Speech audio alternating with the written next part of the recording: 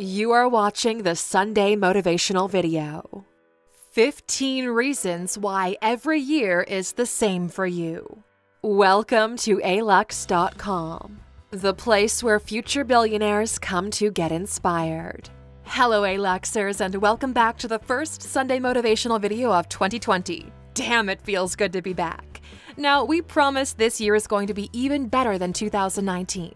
We're making several changes to provide you with even more value than ever, but two things are not going to change our passion for the Sunday motivational video and the love we have for you. With that said, here's why every single year you start off strong but quickly fall back into the same old, same old. Most of you fail to grow and you fail to get your much needed break, but almost none of you take the time to analyze why this happens. So we did it for you. Here are 15 reasons why you're stuck in the same rut, in the same place, and every year is the same for you. Reason number one you don't take yourself and life seriously. It's always been difficult for you to take life seriously. You grew up with a chip on your shoulder, everyone around you praised you, and you got away with it without doing much work. In school, you were more focused on how to beat the system than play by the rules, and it worked out for you. You took the same attitude of winging it in your life, and you've been casually moving on cruise control. But for some reason, this year feels different. You feel like there should be more than there already is to your life, but you feel lost. Have no idea where to begin because life just happened to you so far. You've never really made it happen. Somewhere in the depth of your mind, you're feeling a bit scared because you knew the day would come when all the pretending wouldn't amount to much, and that day is closing in. You can either choose to turn a blind eye or, for the first time, take control of what's happening with you. This choice will determine whether this year will be different or more of the same. You are the sum of the choices you've made up until this point in life. The choices you're going to make will build the new version of yourself. Choose carefully who you want to become. Reason number two you never write down your goals. Statistics show that people who write down their goals are 80% more likely to achieve them than those who don't. Almost every successful individual out there takes their time to physically write down their goals. Yes, pen and paper or mark it on a whiteboard. Yet, the majority of the population doesn't do it. It's literally the simplest thing you can do, which has a real impact.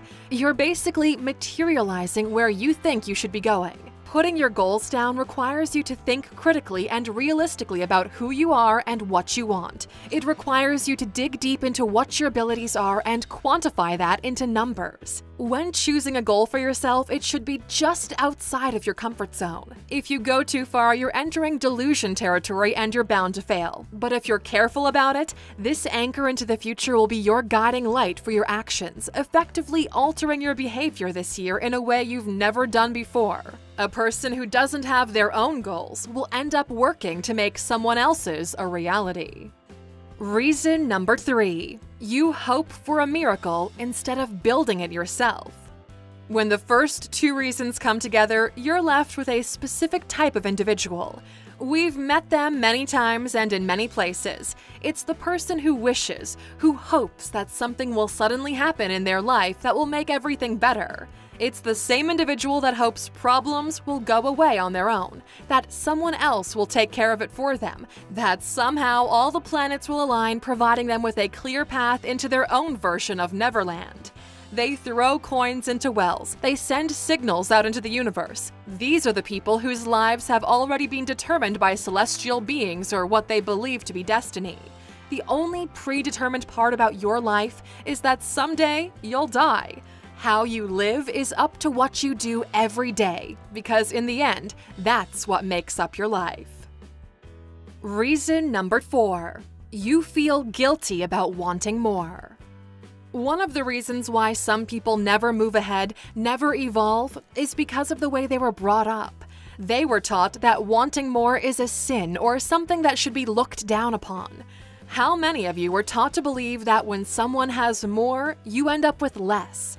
This type of limited and restrictive thinking comes from not understanding one's ability to create more value. If you and I only had one apple and I took the entire thing, you wouldn't get any. But today we have the power, both you and myself, to plant apple trees so we can make more apples, actually as many apples as our heart desires, even more than that. Help yourself so you can help others. The poor can't help anybody, not even themselves. There's no respect for those who lazily choose to be poor. Being poor is a selfish act, for you're not helping others, which is what we're meant to do. So stop with the nonsense. If you want your life to matter, do more, be more, help more, and have an impact. You can't do any of that if you're stuck in the past.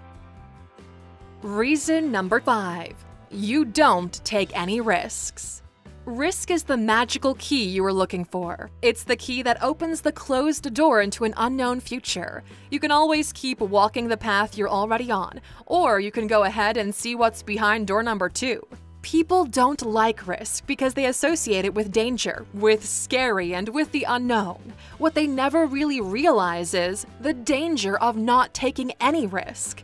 Living a mediocre life, one where you live with the regret of not trying, constantly carrying the burden of what if, seems almost like torture to us. Assuming we only get this one shot at living the best life we can possibly live, why wouldn't you go all in? If it fails, you go back to your mediocre life, no harm, no foul. But at least you don't have to carry around the boulder of regret. Take a moment to think about what you currently desire from life. What's the worst thing that could happen if you went after it?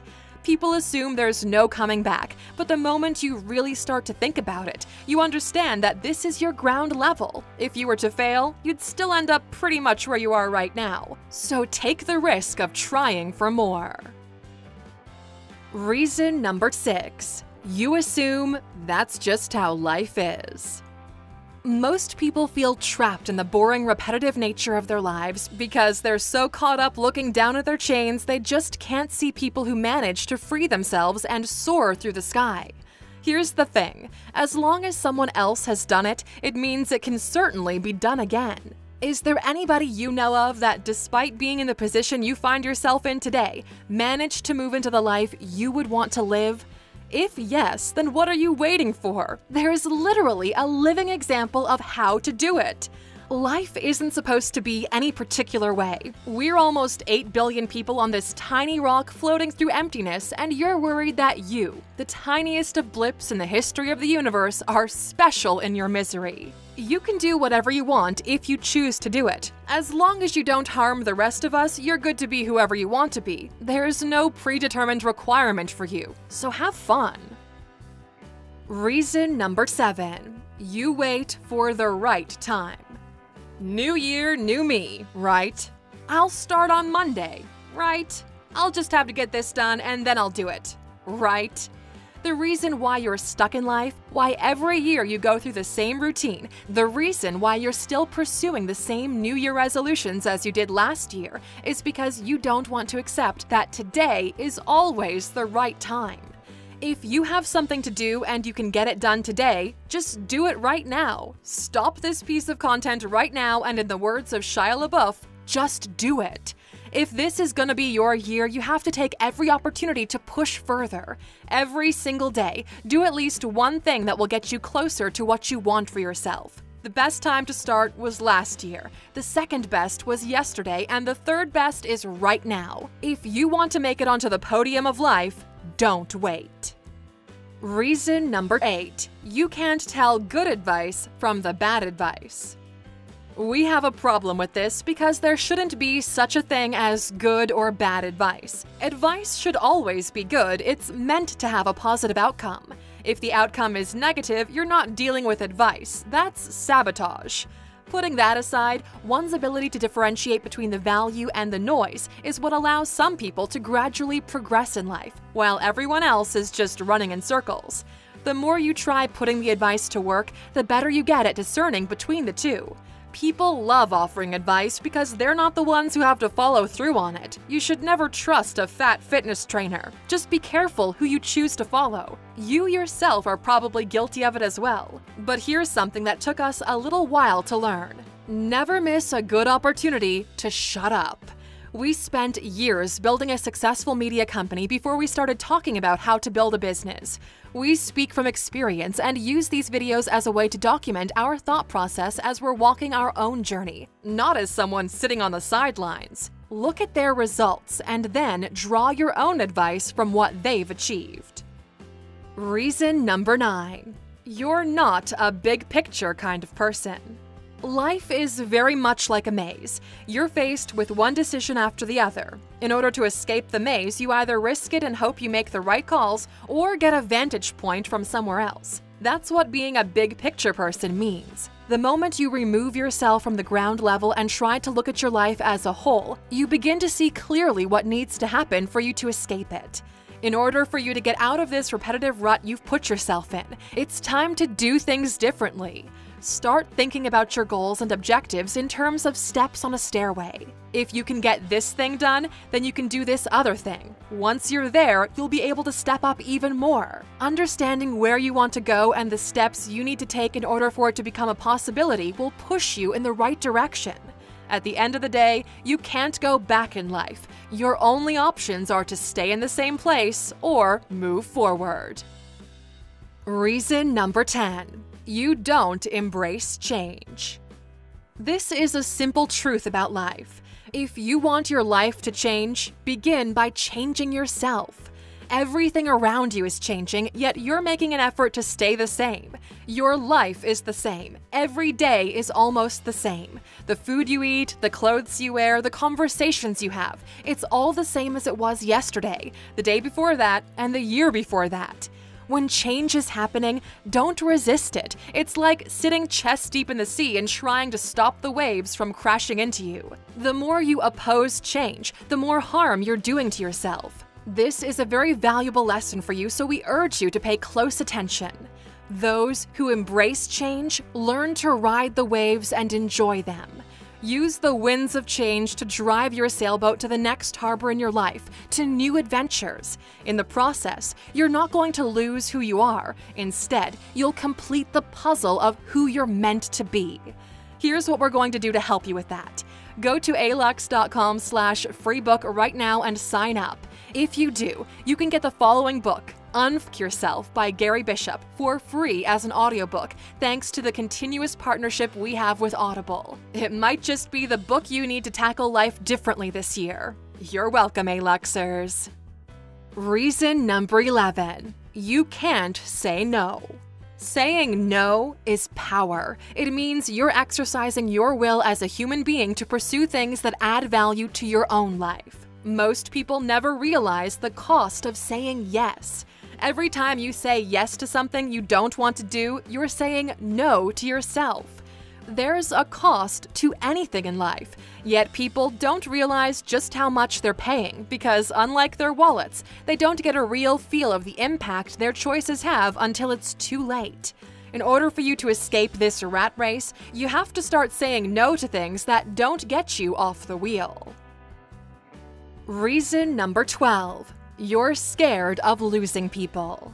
Not everyone you know is going the same direction as you are. They have different goals, different lives to live that they will build for themselves. For them, their finish line might be somewhere else, and trying to bring them with you does more harm than good. You might find yourself at a crossroad in your journey, where if you follow your own path, you'll get separated from some people. This is the cost of moving forward. It's one of the prices you have to pay in exchange for what lies ahead of you. We found that happy people will always find a way to reunite and celebrate their achievements.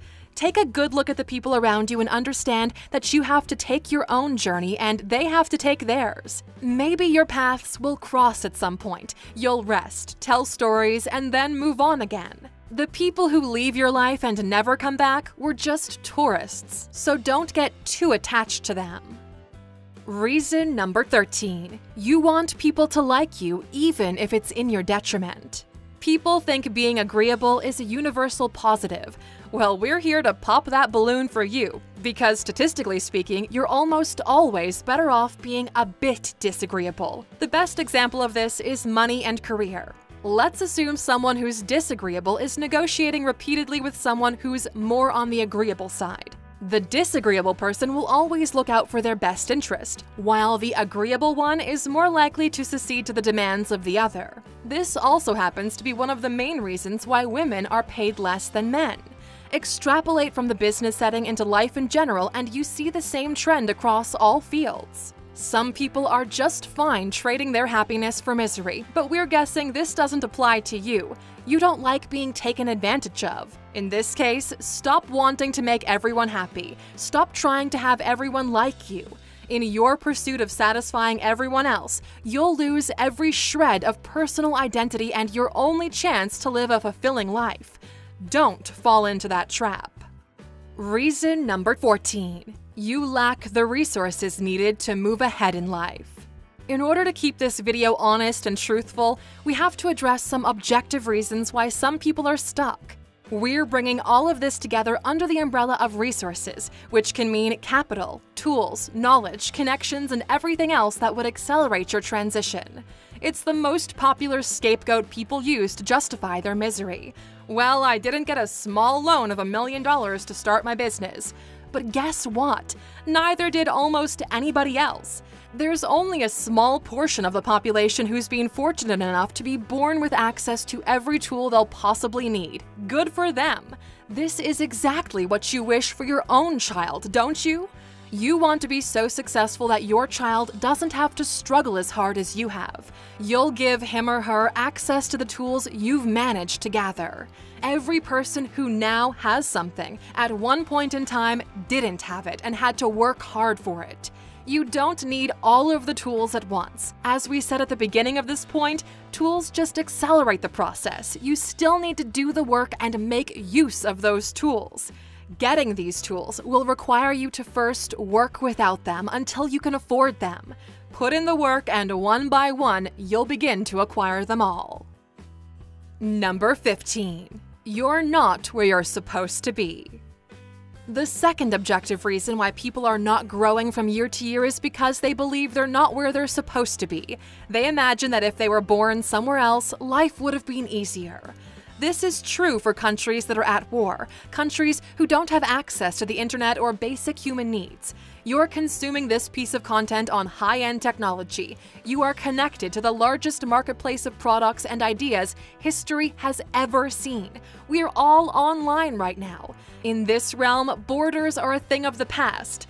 That is, unless you're in China. For everyone else, you have access to the same kind of information someone from New York is getting. This piece of content alone will be consumed by hundreds of thousands of people from all around the world, all backgrounds, religions, and races. You already have access to the entire world, you're just justifying your lack of action. As for the real geographic limitation, move. Almost every country in the world allows people to move from one country to another. If you really want it, you will find a way to relocate.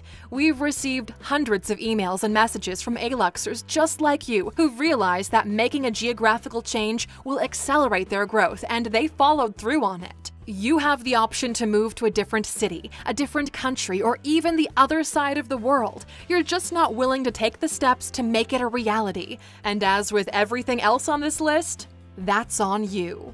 We're super glad to be back and starting this year strong with a cold shower to make you really think about what needs to happen in your life for it to change.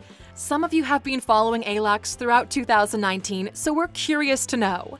How has your life changed in the past 12 months? It'll be super useful to us if you left a comment with your answer. That way we know what content really had an impact so we can do more of it. Although this is the year 2020, something will always remain the same. Your bonus for watching the video until the end, so here it is. Reason number 16. Work hard in silence. How many people do you know who are all talk, no action? You always hear from them about their plans, their goals, how they're going to build a new company, create a new product, come up with some new idea, and so on. But they're still in the same place they were five years ago. You know who isn't? Those who don't have time to flex their lip muscles because they're too busy actually working. Putting one brick on top of the other isn't glamorous. You'll get tired, you'll want to quit, you'll have to push through pain, most of which will be unknown to everyone else. But keep your head down and work in silence. If your life genuinely sucks, 2020 should be your sacrifice year. Don't try to look successful, don't boast, don't show off. Simply pull yourself back and throw yourself into real work. Register that company, put up that website, get your first order, get your first client, then do it again and again and again and so on. Start making those small changes and trade with the future. Give something now so you can live better tomorrow. If you're tired of living the same boring life and are ready to make a change, please write the word sacrifice in the comments. That way we'll know who's ready to invest in themselves and this year. By the way, we're still working hard on building Goal Mastery, our premium experience where we bring together the strategies of billionaires, companies, the military, and ourselves included on how to hit every single goal you have for the year. Because we really take this seriously and want to provide you with the best possible product, we're taking our time with it, but we're hoping to launch the course in the first quarter of this year. That's for all you interested Aluxers. Thank you for spending some time with us, Aluxers. Make sure to subscribe so you never miss another video. We also handpicked these videos for you to watch next. As always, the conversation continues on social media. Thanks again, and we can't wait to have you back tomorrow.